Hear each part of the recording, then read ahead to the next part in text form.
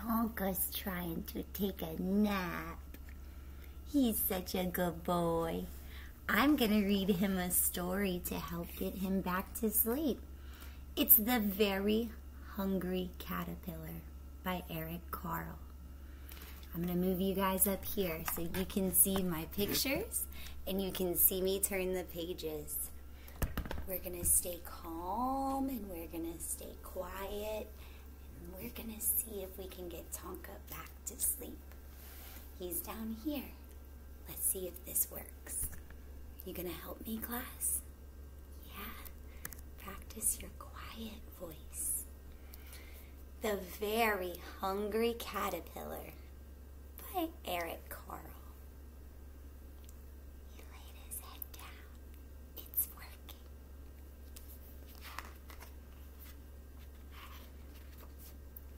The artwork in here, guys, is so phenomenal.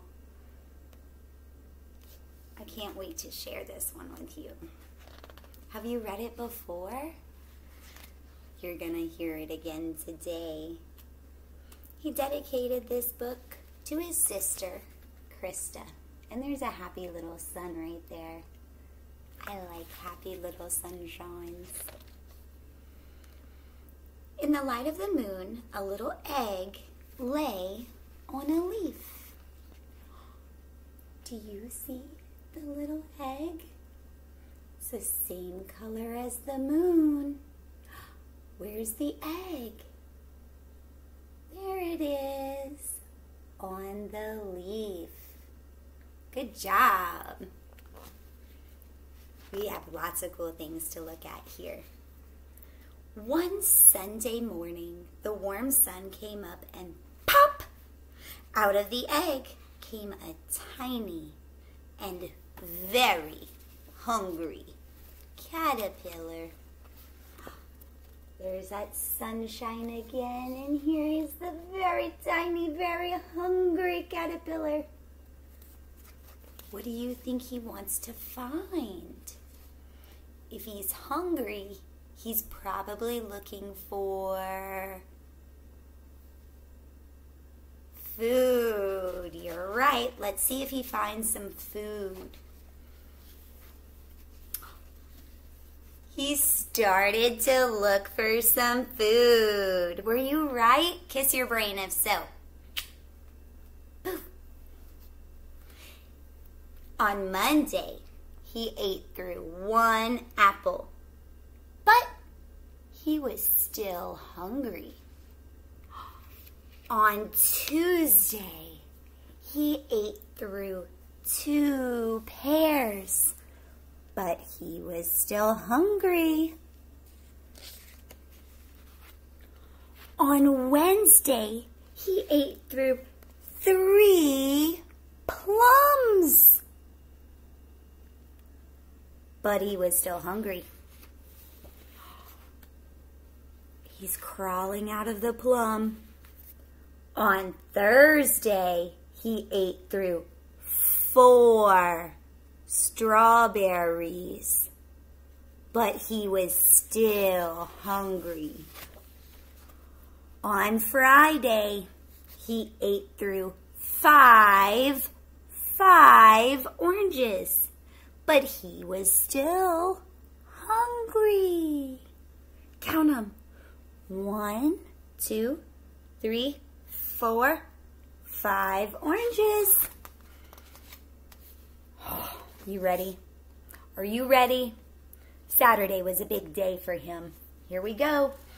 On Saturday, he ate through one piece of chocolate cake, one ice cream cone, one pickle, one slice of Swiss cheese, one slice of salami, one lollipop, one piece of cherry pie, one sausage, one cupcake, and one slice of watermelon.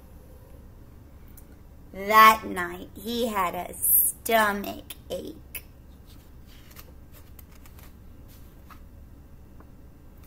The next day was Sunday again.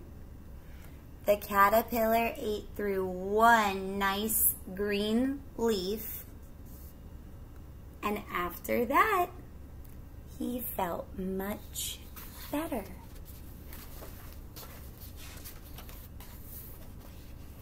Now he wasn't hungry anymore.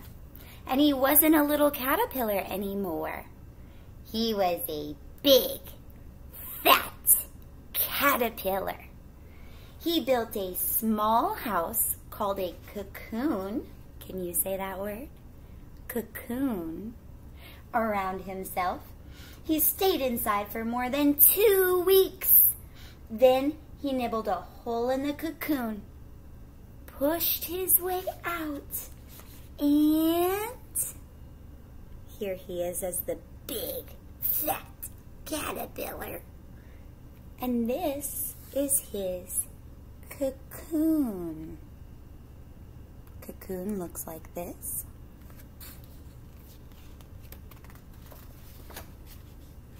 When he came out of the cocoon, he was a beautiful butterfly.